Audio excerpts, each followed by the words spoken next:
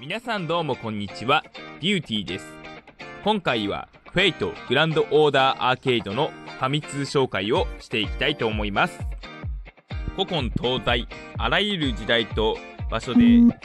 歴史に名を残した偉人や神話の英雄たちが英霊として召喚されて戦いを繰り広げるのが Fate Grand Order。ひいては Fate シリーズの魅力です。本作にもフェイトグランドオーダーで活躍する英霊が多数参戦します。3DCG で活躍する6機のサーバントにロケテストが参加者からの感想の声が多く上がっております。また5人の過去に登場した5機のサーバントは今回紹介する6機のサーバント以外にもフェイトグランドオーダーには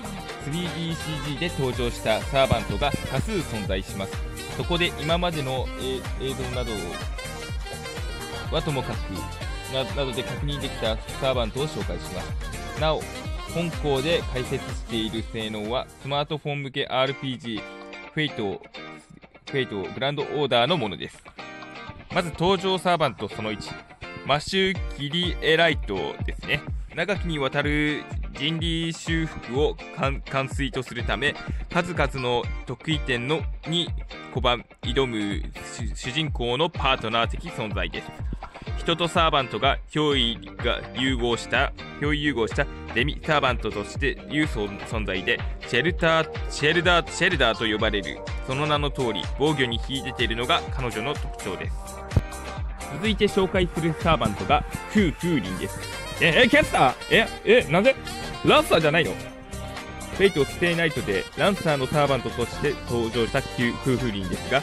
キャスターとして現界した姿です。このクラスでの初登場は Fate Grand Order で、ルーンを使う術者として描かれているほか、ランサーの時と同様、攻撃を回避するスキルも持っています。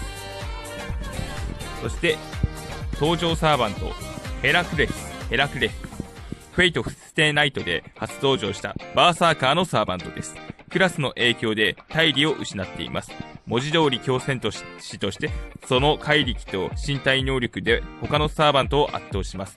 Fate Grand Order でもトップクラスの攻撃力を誇り、アタッカーとして活躍します。